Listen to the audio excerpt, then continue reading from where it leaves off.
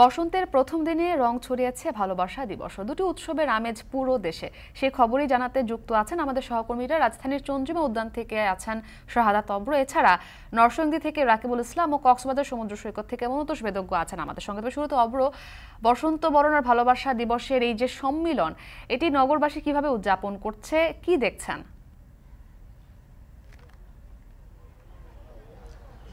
মুক্তি আজ কিন্তু বসন্ত ফুল ফুটুক আর নাই ফুটুক আজকে হচ্ছে বসন্ত। আর এই যে বসন্তের দিনটা কিন্তু নানা মানুষ নানাভাবে উদযাপন করছে। আর সেই উদযাপনের অংশ হিসেবেই কিন্তু এই যে আজকে চণ্ডীমা উদ্যানে আছি, এছাড়াও এর আগে ছিলাম বাহাদুর শাহ পার্কে।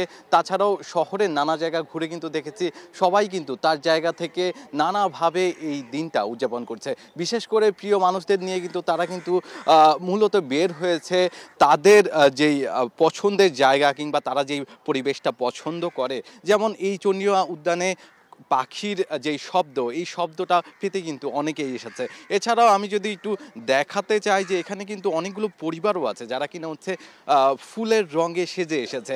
এছাড়াও যারা কিনা হচ্ছে তাদের প্রিয় মানুষদের নিয়ে এসেছে, তারাও কিন্তু হচ্ছে এখানে কিছুটা সময় কাটাচ্ছেন এই ভালোবাসা এবং একই সাথে বসন্তের দিনটাকে তারা হচ্ছে তাদের মতো করে উদযাপন করছেন। তাছাড়া যদি বলতে চাই যে উত্তরাতে কিন্তু হচ্ছে যেই উত্তরা তিন নং সেক্টরে কিন্তু হচ্ছে বড় আয়োজন করা হয়েছে এই বসন্ত বসন্ত বরণ এবং সাথে ভালোবাসা ভালোবাসা দিবসকে কেন্দ্র করে। এছাড়াও বাহাদুর শাহ পার্ক ধানমন্ডির যে রবীন্দ্র সরোবর তাছাড়া হচ্ছে ধানমন্ডি লেক। এই যে এই জায়গাগুলোতে কিন্তু হচ্ছে নানা আয়োজনের মধ্য দিয়ে আজকে পালিত হচ্ছে এই ভালোবাসা দিবস এবং বসন্ত বরণের উৎসব। আজকের দিনে কিন্তু হচ্ছে ফুল কিন্তু হচ্ছে চারিদিকে ছড়াছড়ি, তার সাথে নতুন জামা কাপড় ফুলের রঙে সেজে মানুষ কিন্তু এসেছে। শুধু একা বের হয়নি, সবাই কিন্তু হচ্ছে পরিবার পরিজনকে সাথে নিয়ে আজকের দিনটা উদযাপন করতে চেষ্টা করেছে। এছাড়াও কিন্তু নানা জায়গায় এই যে বাঙালিয়ানা, বাঙালির ইতিহাস এই ইতিহাসটা মূলত হচ্ছে এই অনেক বছর ধরে কিন্তু এই বসন্ত উৎসবের আমেজটা হয়ে এসেছে এবং এই বসন্ত উৎসব কিন্তু হচ্ছে আরও কয়েকশো বছর আগে থেকে চালু হয়েছে এবং সেটি কিন্তু এখনও আমরা উদযাপন করছি। এই ছিল আমার কাছে শেষ, সর্বশেষ মুক্তি। এবার আমরা একটু নরসিংদের খবর জানতে চাই। রাকিব, সারা দেশে তো উৎসবের আমেজ বইছে। নরসিংদীতে উৎসবের এই যুগলবন্দিটা কীভাবে উদযাপিত হচ্ছে?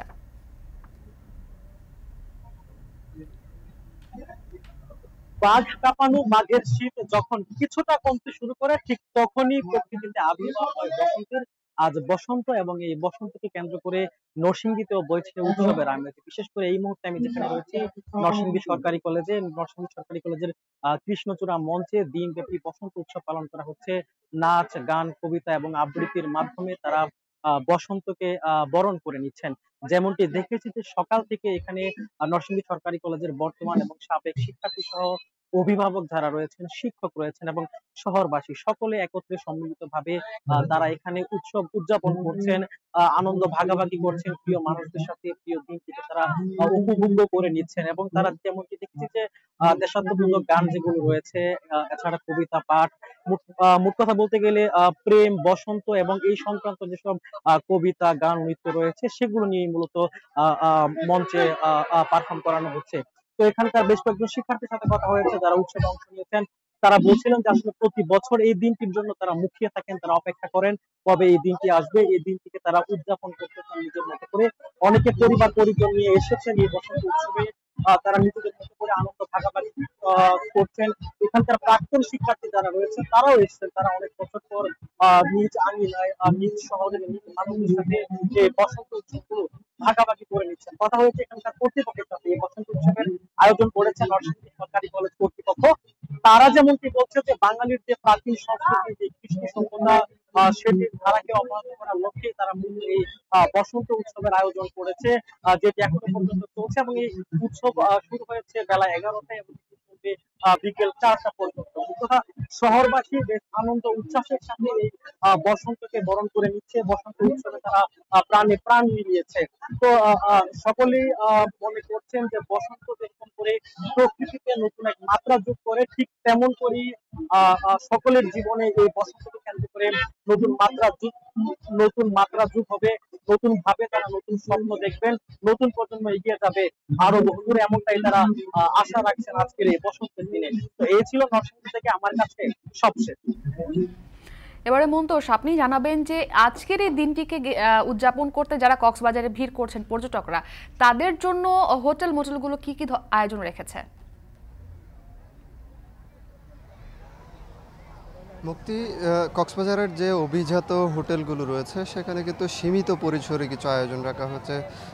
ছোট পরিসরে সাংস্কৃতিক অনুষ্ঠান, বুফে খাবার দুপুরের খাবার, এইগুলোর কিন্তু ব্যবস্থা রাখা হয়েছে এবং কক্ষ বাড়ার ক্ষেত্রে কিছু কিছু অভিজাত হোটেলে কিছুটা ছাড়ও দেওয়া হচ্ছে। তবে শহরের যে মাঝারি মানের হোটেলগুলো রয়েছে বা ছোট যে হোটেল মোটেলগুলো, রেস্ট হাউসগুলো রয়েছে, সেখানে কিন্তু এই যে বসন্ত বরণ কিংবা বিশ্ব ভালোবাসা দিবসের, এই উপলক্ষে কিন্তু তেমন কোনো আয়োজন রাখা হয়নি। আমরা সৈকতে দেখছি যে বিপুল সংখ্যক পর্যটক কিন্তু এখানে সমুদ্র স্নান করে, ঘোড়ায় চড়ে, ঝেটিস্কিতে চড়ে নানাভাবে কিন্তু সময় কাটাচ্ছেন এবং বসন্তের প্রথম দিনটা আসলে তারা নানাভাবে উদযাপন করছেন এখানে।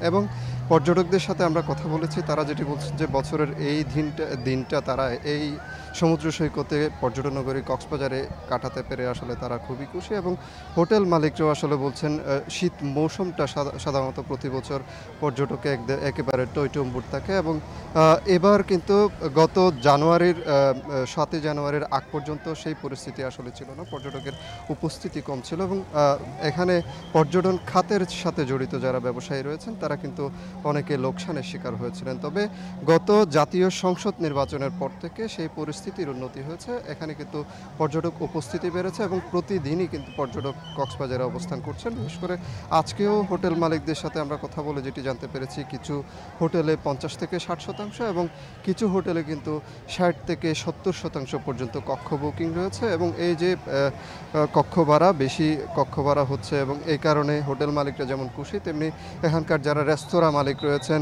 সৈকতের যে ছোট ছোট ক্ষুদ্র ব্যবসায়ীরা রয়েছেন তারাও কিন্তু, তাদের মধ্যেও কিন্তু একটা উচ্ছ্বাস আসলে কাজ করছে এবং এই পর্যটক উপস্থিতি যেন সবসময় থাকে সেটি তারা আসলে প্রত্যাশা করছেন এবং তারা আসলে আশা করছেন আগামী মার্চ পর্যন্ত এই পরিস্থিতি থাকবে, পর্যটকে টৈটম্বুর থাকবে কক্সবাজার।